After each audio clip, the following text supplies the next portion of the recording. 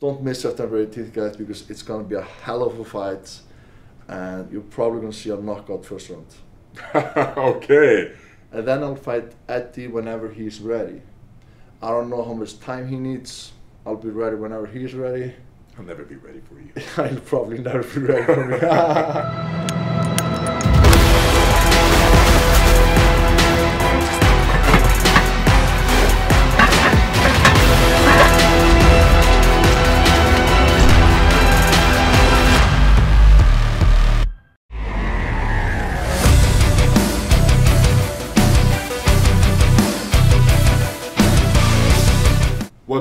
guys? Larry Wheels here with Thor. Okay. hey, my friend, how you doing? Doing well. Uh, nice to have you here. Well, thanks for having me, actually. I'm in your hotel room. Yeah, thank you so much for coming. Always great catching up, my friend. Uh, So, it's a lot has changed for both of us since we had that training camp back in 19 in Iceland, which I think was one of the highlights of my life so far. Um, yeah, I was 2018. 19, wasn't it? Or Yeah. 19. Well, 2019, yeah, that's Yeah. correct. Yeah, yeah. you know, you, you, your friends, your family showed me the time of my life, as well as Adam while we were there, and you know, it's an experience I'll never forget. So, um, as a result, you know, Thor and kept in touch over the years, maybe a couple years actually. Time's flying. Um, a lot has changed for you. So you're like a few weeks out from your next fight, um, and I just want to pick your brain a bit about like how your lifestyle has changed, if at all. I imagine the principles are the same, like eat, sleep, train, right? But now that you're a fighter, um, and that you have, you have you have a new baby as well, um, like how has your lifestyle changed since we were training together back in like 2019 when you were 205 kilograms, pretty much like the largest man on the planet? Yeah, wow. Uh, obviously, a lot have changed since 2019 when I was just obsessed with being the best I could in strongman. Did anything I could do to become that 1% better. Like you knew, we were just like, we, we trained like maniacs every single day and, uh, Yes, and that is very ate literally everything that you could eat every single day. Now it's a bit different, obviously. Um, now my diet is still super strict, but um, eating a lot, lot less calories, like most of you know. Um, and I'm training more. I'm more in the gym, doing a lot of conditioning work, doing a lot of boxing stuff, obviously. Um, I'm a few weeks out from my next boxing match, uh, September 18th. Make sure to check that out, guys. I'll be fighting a legend in arm wrestling, uh, Devon. That's gonna be interesting match. He is, is, is, is new to boxing like myself, even though I've been doing boxing for a year and a half now. Um, but I think this is something that the fans want to see. I've already fought two professional fighters where they had the upper hands. I believe this is the first fight that I actually might have the upper hand. Uh, but Okay. we'll, we'll, we'll see. Fight is a fight. You never know what's going to happen. That's right. Like, I'm not going to underestimate him at all. Surely. Um, yeah, a lot have changed. Like you, like like like you asked me. Like I have a new son, brand new son that's turning uh, one years old, uh, September twenty sixth. So I'm super excited for that. Um, yeah, like, and I'm just doing this. Like like I'm eating, sleeping, training, uh, trying to be as good a for boxer like I can be. Like I'm trying to improve every single day learn from a good coach Billy Nelson, a great guy from Scotland who is fantastic coach and is uh, uh, sharpening my tools every single day. Hell yeah. Now, your career as a boxer, you know, is this something you're looking to do long term or just until the fight with Eddie is over with and then you're going to switch gears to something else? Like, what are your intentions with boxing? So when I started this journey um, um, back in uh, when I, when I when I- started this journey back in 2020 May, um, my intention was just to do it for a year and fight Eddie and then finish. That was the plan. But now I'm actually starting to enjoy boxing. So I, I, I don't know. I, I really don't know. Like I've done two exhibition fights so far. I'm gonna fight Devon next, and then probably I'll do another fight in December to gain more experience, and then I'll fight Eddie whenever he's ready. I don't know how much time he needs. I'll be ready whenever he's ready. I'll never be ready for you. I'll probably never be ready for me. Uh, yeah, yeah. You know, I don't know. Like, um, I don't know. As of today, I don't know. Now I'm just enjoying this journey, um, doing what I can do to become better. Eddie has been saying that I'm doing a huge mistake by doing these fights because then he can watch me and learn and la la la. I think it's actually the opposite.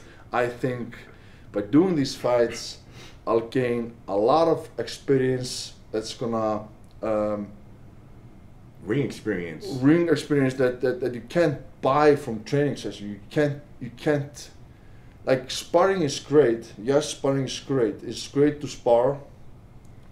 But getting that feeling of competing, like you know, you competed in, in, in powerlifting, arm, arm wrestling, uh, bodybuilding, and strongman, and you learn the most from competing. Absolutely. Because you peak and you compete and you learn your body. You, you you get better each and every time because you can you can look back and say, okay, I did that wrong. I need to do this better, and you involve as an athlete, and that's exactly what I'm doing right now.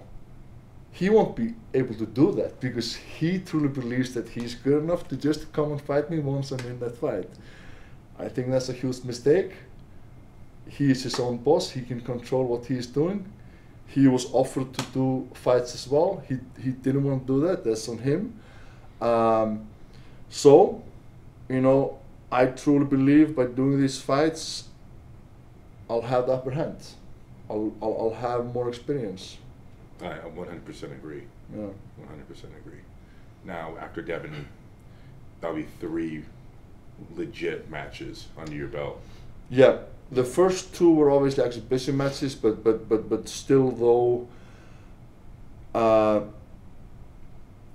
I learned a shit ton, of, ton from from from those ma- ma- matches, um, um, and um, you know, I would even if Eddie wants to to delay the match again, if, even if if if, he won't be ready until maybe mid next year that's fine, I'll just do another one. And by the time I finally fight him, I'll just destroy him. Sim- simple. Yes, that's where my head's at as well. Yeah. I totally agree. Yeah.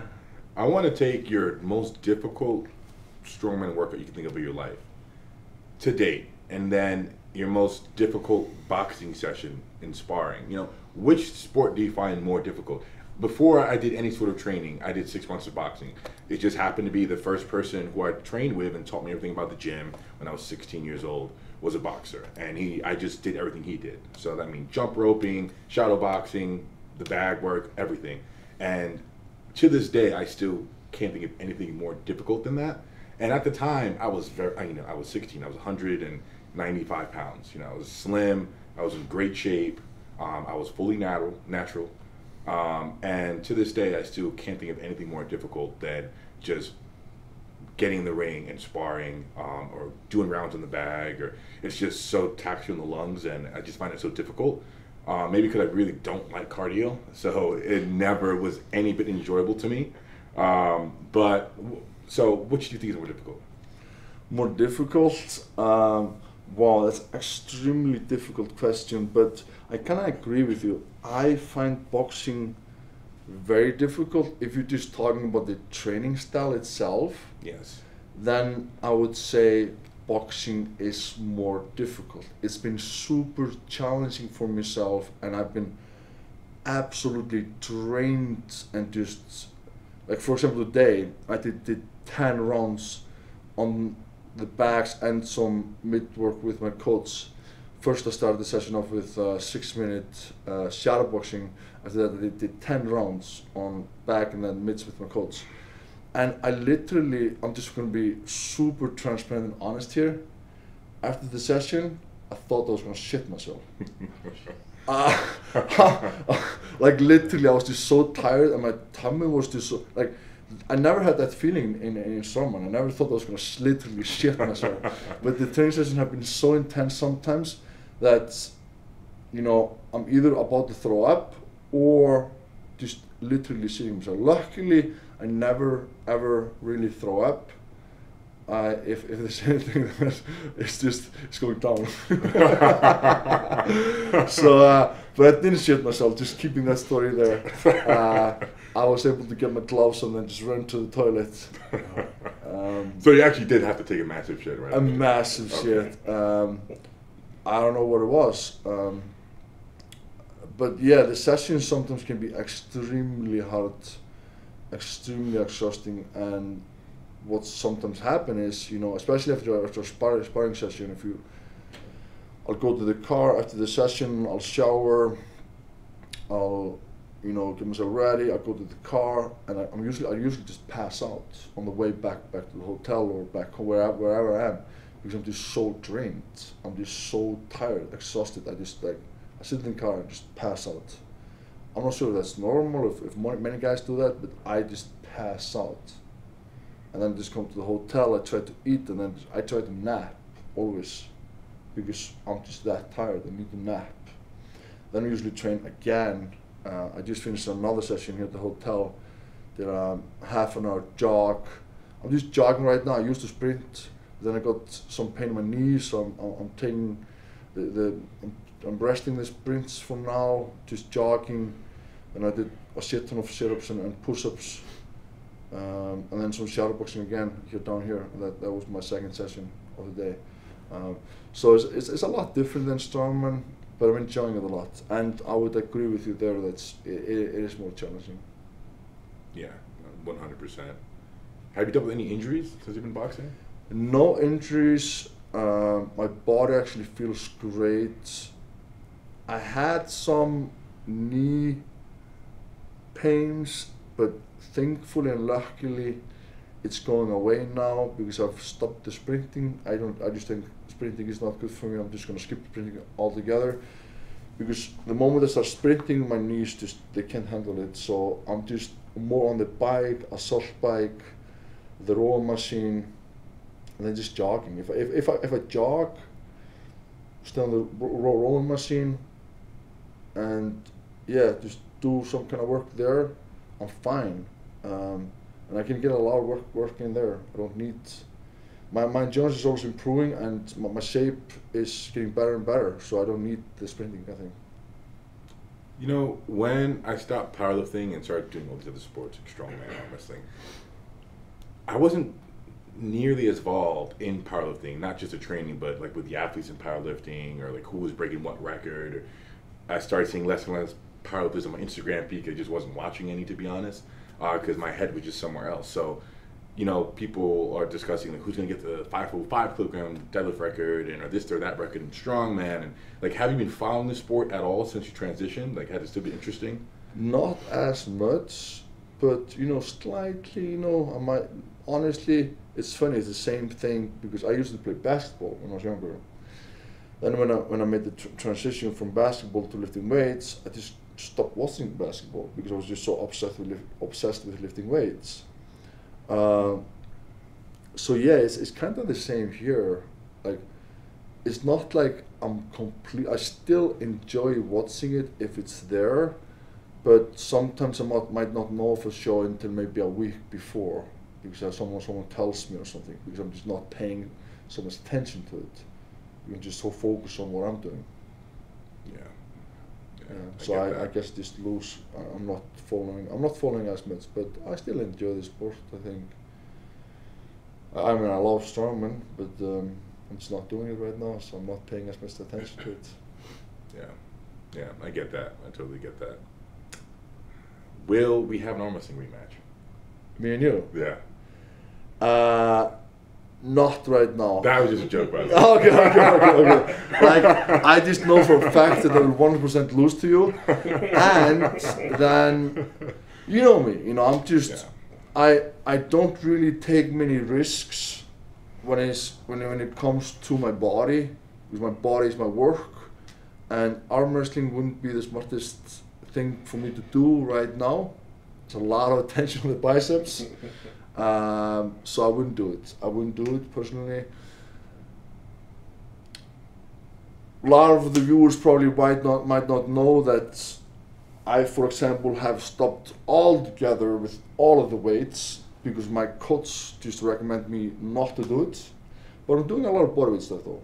Okay. Push ups, pull ups. Push up, pull ups, uh, sit ups, and um, that seems to be fine with me. And I don't really, I don't really have the.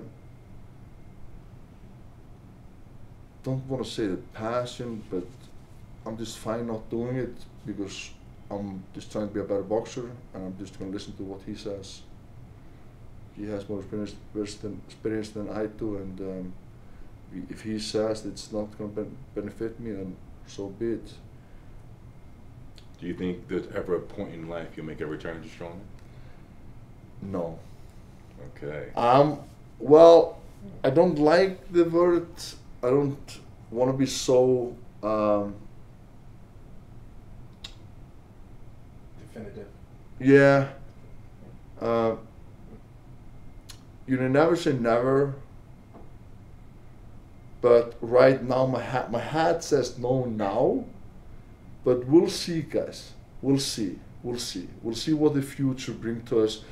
But I, I just can't see myself willing to push my body through that again. It's a lot, and I wouldn't want to go back to strongman just to be back. Right. I would want to go back to win. And to do that, I would have to push my body a lot. And for what? I won everything there is to win. It's not like I was won one title. I won literally all the shows, all the big shows. And there's nothing else for me to win really. So um, why would I do that for myself? For what? There's honestly between me and you and the viewers, there's not a whole lot of money in the sport. That's right. Um, so I, there's there's no really reason for me to sacrifice my health for something that I've already done. Like I've, I've already sacrificed my health. Luckily, I'm healthy, and I want to be there for my family. I want to be there for my wife, for my son, for my daughter, um, for my parents, sisters. You know. Absolutely. You know, those jitters and that nervousness you get before you would do a PR attempt, or in your case, world record attempts. Mm-hmm. You get maybe it's weeks before, days before, mm-hmm. uh, right before. Do you get that same nervousness before an exhibition match, before you're getting those past two matches you've done? Did you get that same level of nervousness, like uneasiness, Yeah, definitely. or excitement even? Yeah, for sure. Both excitement, nervous, nervousness. Do you find it as intense as, for example, when you went for the 501 kilogram deadlift? You know, was the emotion that went into that. When you get into the ring, you I haven't haven't found that yet. I would say the strongman intention were much higher. Um, maybe because I, I, put so much pressure on myself. For example, to win the World's Strongest Man, to win the Arnold Classic, to be able to pull 501, I put so much pressure on myself, and I told people that I was going to do it. So I don't know, like I haven't felt as nervous or as stressed in boxing yet.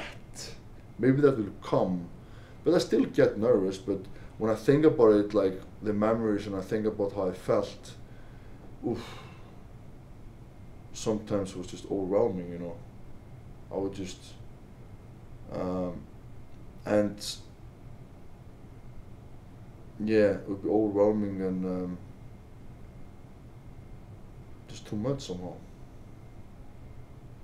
yeah, it's like a weight on your shoulders that can't be lifted until you do what you said you're going to do. Yeah, exactly. You know, but I think I can understand it. That hasn't happened yet. Maybe the match with Eddie will bring that side out of you out. Maybe because that would worse. mean a lot to me. Like I really like these fights I'm now are like a practice fights before the Eddie fight. So it's like it obviously means a lot. Like if I would lose to any of the exhibition matches or, or the fights I'm doing right now, honestly, I, it wouldn't bother me too much. Um, but it would bother me a lot if I would lose to Eddie Hall. Um, I, I, I really want to knock him out. Just between me, you, and the viewers. Don't tell anyone else. uh, I, I, I sincerely want to knock, knock him out, um, like bad. Like uh, I'm doing everything I can to do it, and I hope he's doing the same thing. Because I don't want to hear any excuses. I don't want to hear him say something, you know, like, oh, I got my bicep, I, I ripped my bicep, oh, I didn't feel good that day, oh, I, I shit myself in the corner because my tummy was hurting, you know. I'm not going to make any excuses, you know. So I don't want to hear that from him, him either. Yeah, The, the, the best man wins. that's right. You want him on his best day. Mm-hmm. You know, you want the best version of him. So it'll be satisfying when you win. That's why I'm waiting. That's why I'm. Yeah. That's why I'm waiting and just um, giving him the time that he needs. Tell me when you're ready, and I'll fight you. Yeah. Yeah. That's great. Great sportsmanship. I respect it. Yeah. Yeah. Thank you. Well, we can certainly end on that note. Thank you for catching me and the viewers up with everything. Absolutely, always a pl- plasma friends. And guys, make sure to check the fight September 18th. Um, coresport.com. Maybe you can put the link up for them so they can. Absolutely. Check out yeah. the- the- In the description box below. Guys, years ago, years ago, Devon and Thor had an arm wrestling match. Did. Right? It's been an exhibition match. Really. It's exhibition. Of course, Thor's not an arm wrestler. Um, nowhere on arm wrestling. not, not in the slightest. No. I think it was just that match, the one we had in Iceland, and the one we had again here in Dubai. So three in your whole life, probably. Anyway. Yeah, actually, that's close to being true. So, is kind of like a vendetta. Like you, even the score. Yeah, kinda. Even though, like, to be fair, I should have taken him to strongman because he is the best in arm wrestling, That's right. and I was the best in strongman. So I should have basically taken him in a strongman contest and beaten him there. That would have been like a fair, fair contest. You still have the upper hand in boxing, though. Has, I still have the upper hand. That's true. He has, I think, zero experience. He has ex special forces, I hear. He So, does, and a lot of his fans and people online are saying that he's gonna beat my ass. So there are people out there that truly believes that he can beat my ass. So uh, I mean, we'll see. I'm not gonna take him. I'm not gonna go there and underestimate him. Yeah. I'm gonna go there, and I'm training like I'm training to fight Eddie Hall. I'm training to fight. Basically, I'm training to fight the best in the. I, I. I'm training to fight basically, you know, Tyson Fury. Basically, I Okay. have that mindset. You know, I'm not training to fight someone that's not in a shape or or not ready or isn't like. I'm doing whatever I can to be as good as possible. And I'm willing to spar with anyone. So if if, if there's anyone here in Dubai that wants to spar with me, DM me and I'll spar you any day of the week because I need the experience. I'm by the way about to spar with a guy called Martin Bakole, who is ranked number 13 in, in, in, in the world in the heavy, heavyweight division. He is gonna he's gonna be fighting by the way in the in, in the undercard uh, on September 18th. Billy Nelson, my coach, is is coaching that guy, and um, yeah, so I'll be able to spar with him for a few, probably few sessions before the exhibition. He's coming here September 4th, I think. So it's going to be a huge experience for me to be able to spar with him. oh. Huge experience. Um, so yeah, I'm, I'm just trying to get as good as possible. Don't miss September 18th, guys, because it's going to be a hell of a fight, and you're probably going to see a knockout first round. okay. Big words have just been said. So, guys, want to see that? Knock it on the first round. Link in the description box below. Support Thor, support Core Sports, and we'll see you guys very soon on the next one. We're out of here.